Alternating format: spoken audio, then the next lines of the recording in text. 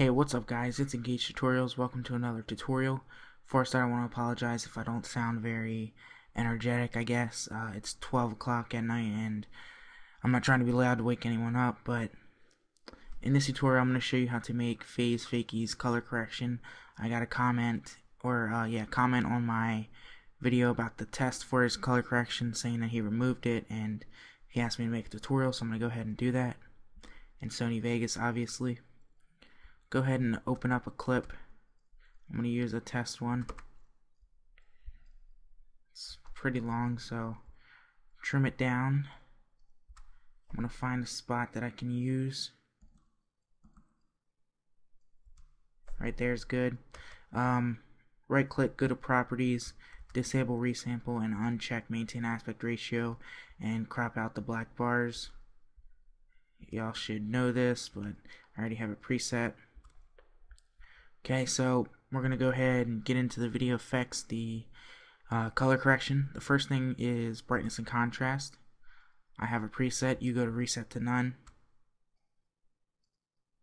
and copy down these settings. The brightness is negative 0.04, the contrast is 0.10, and the contrast center is 50. So go ahead and use that, and you can already see a difference in the color if you uncheck it and check it.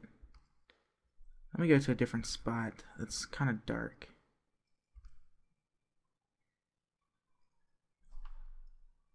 There we go. Alright. The next thing is color curves, which is going, going to be hard for you guys to copy because you have to like make it yourself I guess. But go ahead and drag that on and I'm gonna pick my preset. And it's gonna look something like this. So I'm gonna walk you through this. The first channel you want to put it on is red and kind of copy down where these lines are try to get it exactly like mine. Just move them out and try to position them where they are on my screen. It might be a little hard but you can get it whatever looks good it's kind of you want to make it kind of like a blue tint for red so that's red. Then the next one is green. Copy them down exactly. You can pause the video if you want. And the next one is blue. And these are pretty important. So go ahead and copy those down. Once again I'm sorry there's no real way to copy this but um just do your best and whatever looks good it's really all your opinion anyway. You don't want to get the exact same as him anyway. Uh, want to be a little original.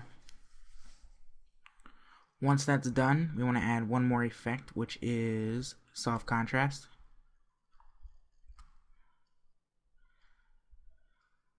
I'm going to drag in a preset. You just drag in warm vignette.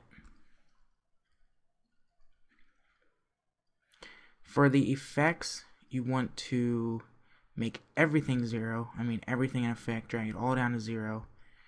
And for the vignette, you want to make the exterior effect black, the strength 38.39, the vignette shape rectangle, softness 50, the width 75, the height 70, the corner radius 15, and the X and Y position 51.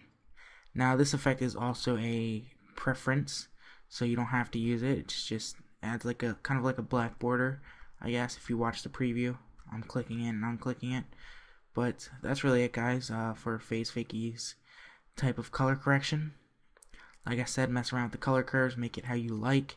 You can copy down mine, get them the closest you can. But that's really it. Thanks for watching.